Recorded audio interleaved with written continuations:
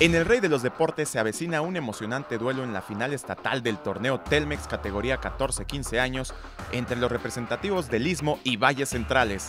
El presidente de la Asociación de Béisbol Oaxaqueño, Eduardo Toral Carrasco, buscará que estos duelos se puedan realizar en las instalaciones de la Academia de Béisbol Alfredo Harpelú los próximos 6 y 7 de junio.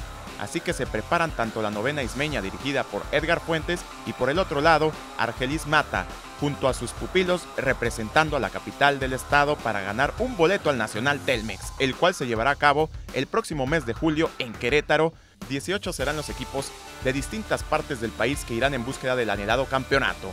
Informó para MBM Deportes Pablo Vázquez.